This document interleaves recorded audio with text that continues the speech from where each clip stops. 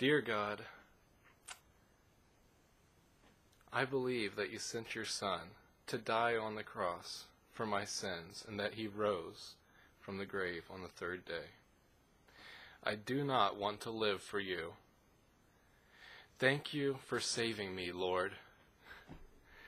Why call you me Lord, Lord, and do not the things which I say? What? I thought all I had to do was acknowledge the fact that you sent your son to die for me.